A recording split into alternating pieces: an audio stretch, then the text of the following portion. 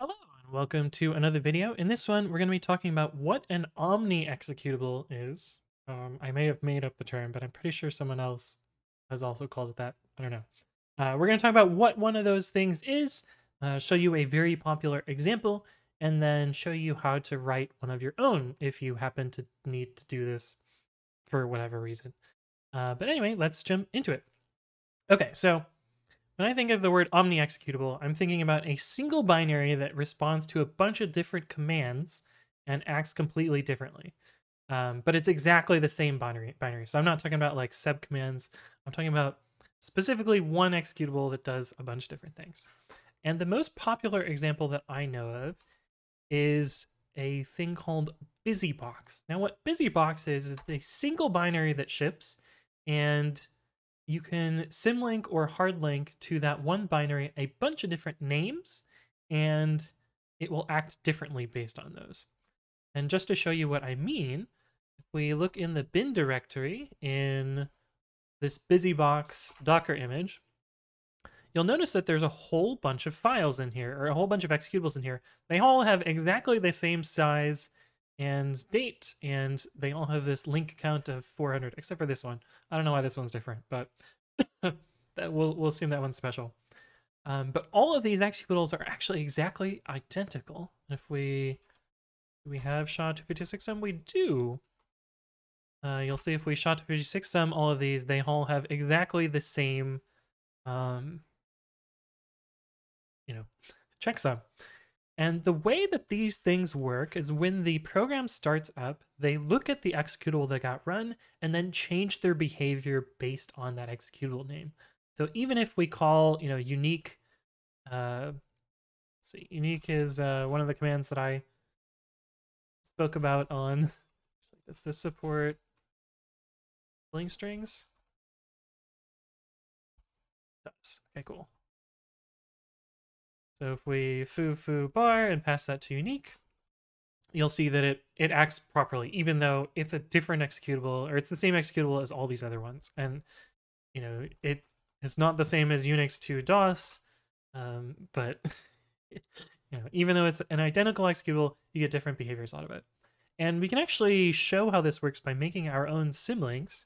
Um, so if we did ln-s uh, bin Don't know, any of these, bin vi to unique, and then we run this, but instead we do dot slash unique, uh, it's still going to act as unique even though we were using the vi executable. Kind of weird, but also pretty cool. So let's talk about how you would write one of these yourself. Um, and I'm going to write mine in Python, but you could do this in basically any programming language. And let's open up a Python script. And the way this is going to work is it's going to inspect sys.argv0. Sys.argv0 is the name of the program itself, and you know through symlink or hardlink magic, we can actually make it refer to something else. So we're gonna user bin and python 3 and make a small executable here. Oh, you get the keyboard cam for this stream or for this video. Oops, I forgot to turn it off from the last one. Oh well. Usually that's only for Twitch. Um, but yeah, we're going to import the sys module, and just to get started, we're going to print sys.argv0, just to show the command or the arguments that are getting passed in here. And of course, since it's returned int, we got to return 0, and we're going to make that executable. And if we run t.py, you'll see that it just spits out t.py. Now, if we were to make a symlink from t.py to, let's say, I don't know, unique, um, and now we run dot slash unique, you'll see that this program is able to detect which executable we're running from. And so maybe in the case of unique, let's implement a bad version of unique, I guess. Uh, import os.path. Uh, so exe equals os.path.base name sys.argv0. So this is going to allow us to retrieve the executable name. And if exe is equal to unique, we'll just, um, how do I get an ordered set? I guess I can use ordered dictionary. Yeah. Scene equals this for line in sys.standard in. If line, uh, we can do scene do this. It's uh, kind of we're using a dictionary as a set, but we're specifically using a dictionary because it's ordered by by its keys. And then we can do for line and scene, print line and equals return zero. So that's our implementation of unique. Otherwise, we can say that you know there is nothing implemented for that particular executable and raise an error there. And so now if we do foo foo bar and pipe that into our unique, you can see that we have a functioning unique executable. Now, if we instead call .t.py, you'll see that we get non-implemented error. And that's because, you know, we didn't actually implement the behavior for any of the other executables. Um, but this is kind of what's happening at the low level in BusyBox. There's a special little startup script that says, what am I? Who called me? And then figures out which functionality to use from there. Now, I recently implemented one of these for work uh, as a sort of wrapper script. It's complicated, but I, I needed something that acted similar to this, where I could just symlink to a binary and then it would, you know, imbue some other behavior and run an actual piece of code in the code base. And um, this is kind of the basics for how you get started with this, but it presents a few problems. Uh, the first problem is if something symlinks to this symlink, uh, so let's say we did ln-s s, uh, you know, unique 2.